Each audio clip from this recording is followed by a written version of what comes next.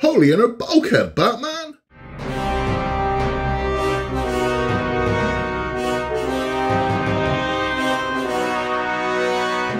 Hello there, Dark Knights. Welcome back to Build with the Boys. We now have issue 53 of Hachette Build the Build Tumbler. Um, in this one, we'll be building the inner bulkhead. So, it looks quite nice, this, because even though, like with everything with the Tumbler, it's light work, um, the colouring's really nice. So we get some um, some gas tanks and that very nice kind of coppery bronze colours. It looks nice. Um, and you definitely need colour to the build that's all black. You need something. It can't just all be black. Um, you, you, need some colour, and this colour really will enhance this. Uh, we will be using the piece that we built in the last one. So uh, the piece with the jet engine, we're doing that and adding to that as well. Um, and it is it is a fairly chunky old piece, this, once this is done. Um, unfortunately, it's not all bolted together yet. It is what it is. Um, but let's get this one open. Let's get this one done. At the end of this one, we'll be continuing our journey into the cinematic universe of Batman. Now, you would think, because we've covered Batman Begins, and we also covered um, Superman Returns, that we'd be going to uh, The Dark Knight. We're not. There was a Batman movie uh, being made before uh, The Dark Knight. Um, and we will talk all about what happened with Justice League Mortal uh, over the next six issues. Um, so it's a very bizarre story, uh, but tune in for it. But this this was legit. This wasn't like something suggested. They they were this was being made. Um, but without further ado, let's get this one open. Let's get this one built. Okay, so this is 53. Let's see what comes inside of this. Uh, okay, we have some CM and some AP screws there. This box. Please stop printing Batman logos on the boxes. Don't need to. Doesn't bring any value to the model. It's massively pointless. Hachette, don't do it. Um, there we go. So we have these tanks here. Uh, these are plastic. Um, so these are these are detailing, but they look nice. The colour looks good. Uh, we have those there. We have two sets of screws. So that's CM and an AP screw. So AP, these be going into plastic. These be going into metal. And then we have the actual uh, inner bulkhead itself. So this looks like it'll be fairly simple. Now, these are not going to attach to that. There's nowhere for that to go. So what we're going to do is going to bring over the piece that we built in the last one because they will be attaching to that. Okay, so here is our, uh, our jet engine and bulkhead from the uh, the last issue. And what we're going to do is quite simply, we are going to take one set of our, uh, our tanks here, and they are going to fit in here. There we go. So those are in there. And then we're going to flip this one over and we're going to screw this in using two of the AP screws. So let's get that done. So coming in from the reverse side, I'm going to pop in a single AP screw just to hold it in place to begin with. These are very little screws but it's okay. I mean, again, this is something that's not load bearing or anything like. This is to hold it on. So you need to screw these in so you get some bite of that plastic and it's firm and then stop. Don't overscrew these.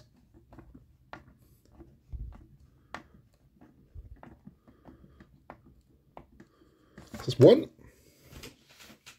And then we're going to repeat the exact same process. So turn this one over. Right, so we've got our first one in there. And we're going to take a second tank, line this one up. There we go. Flip this one back over. And my two AP screws again. hold this one in place. So we're going to go in here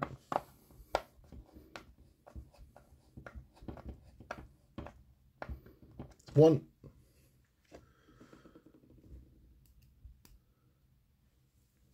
And here is number two.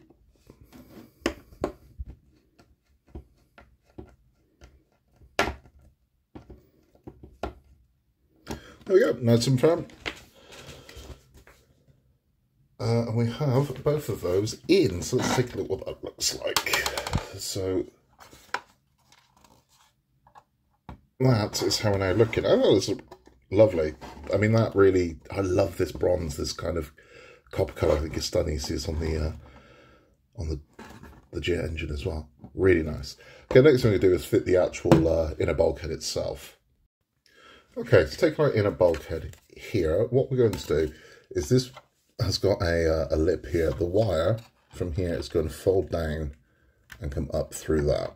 So that's how we're going to be. And then we're going to fit this into place. I'm going to hold this in with four of the CM screws. So let's get this into place to begin with.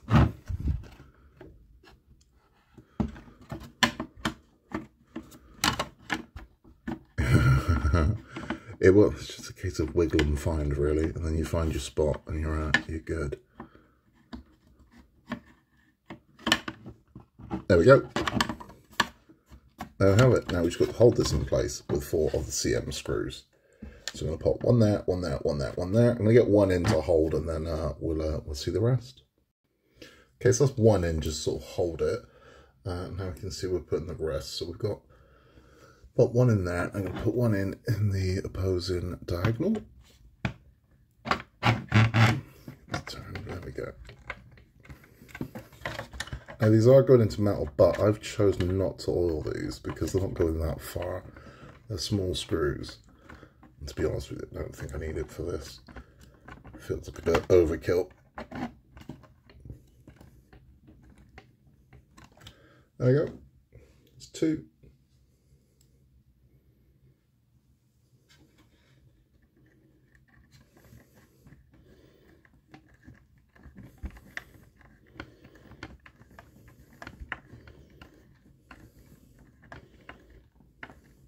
Three, and one last one.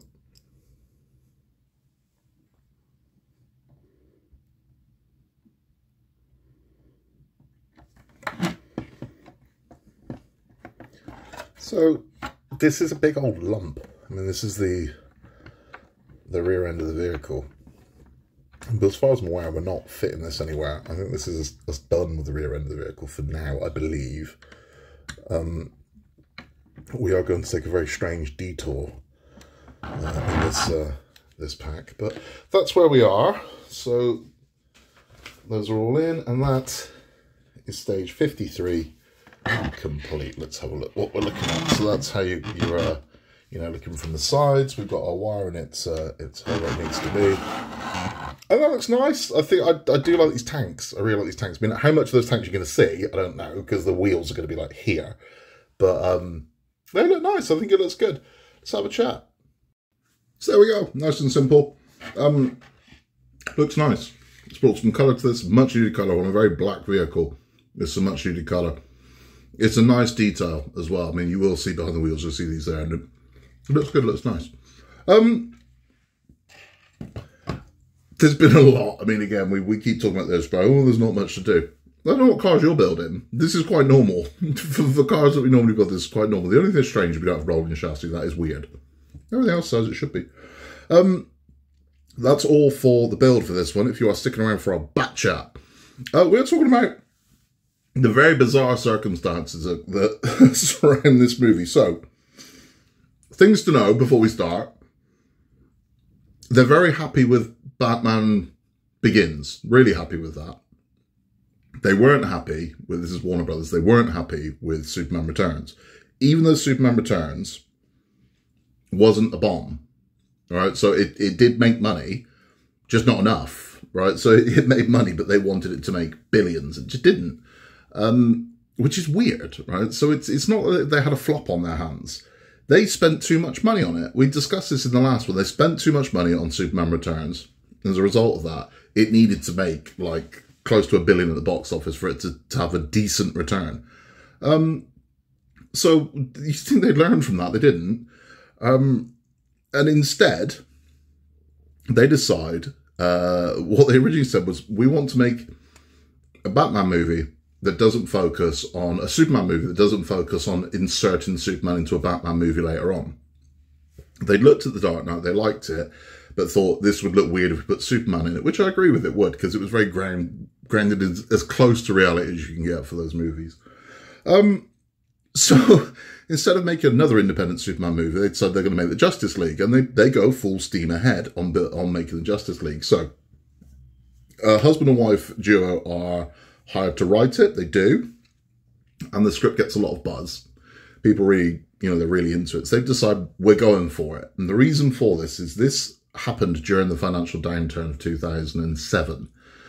So uh, the other thing that was coming out of this was the writer's strike. Now, some of you won't remember this writer's strike. Some of you will remember this writer's strike. There was the, the last big writer's strike was in 2008. Um, so they were very eager to get this one made before that happened. So they went fast track. So they're still happy. This is where it's weird. They're still happy that Nolan's making his Batman movies, but they also want a second Batman.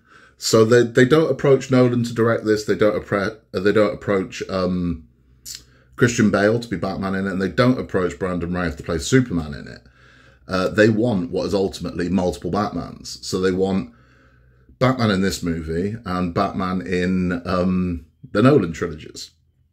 I don't know. Uh, Warner Brothers been hell bent on doing that. And it looks like they are going to do that with the uh, the new franchises they have. But so this upsets Christopher Nolan. It upsets Christian Bale as well because they're saying, "Well, hold on, we're making we're making Dark Knight here, and it, it's it's shaping up quite nicely. It's actually looking really good." And they're like, "Yeah," because they didn't have faith. They didn't have faith in it. They, they didn't think it was going to be great. Is is the reality? So this was almost like their um their safety net and they did they did throw a lot at this. So they signed on director George Miller, uh, who George Miller was the director of the Mad Max movies. So the man's got some action chops, and one of the um the complaints about Superman Returns was it was very light on action. Um, this one wasn't going to be. This one was going to be a kind of all-out actioner. Um, but they were putting everyone in this, so this this was this was a massive ensemble cast. Um, but they, they, as I said, they went full steam ahead. So it was all going to be filmed in Australia. This is where it gets weird. So this is downturn time. Because they're going to film in Australia, that's George Miller's home country, uh, you can get 40% tax relief for filming movies in Australia. Um, if you meet certain criteria. And part of that criteria is, is that the Film Commission of Australia have a say in who you cast in the movie that just reeks of disaster. But they that's that's the way it is. So unless you hire enough Australians, you won't get the you won't get the commission. That's what's going to happen. So they decided we're going to have a completely Australian crew. So all of the everybody, the the, the I mean the director's Australian, all of the, the crew are Australian. So that's the carpenters, the the set dressers, the makeup artists. Everyone is Australian. Um, it's going to be filmed in Australia and they are going to cast Australian actors in it. So three Australian actors, we go into who those were, are cast in very prominent roles. It was going to be a massive budget movie. Uh, the Commission of Australia looked to it, no, you've not had enough Australians. It seems that they wanted a completely Australian cast. So they want everybody in to be Australian. Uh, which then starts to get weird, doesn't it? That's that's when this starts to get unusual um, it's yeah. So, so they refused. Uh, George Miller then started speaking out quite angrily about the um, the Australian Film Commission. So delays are starting to happen already. So on a fast track production, delays are already starting to happen. It's like, oh, this isn't looking good already.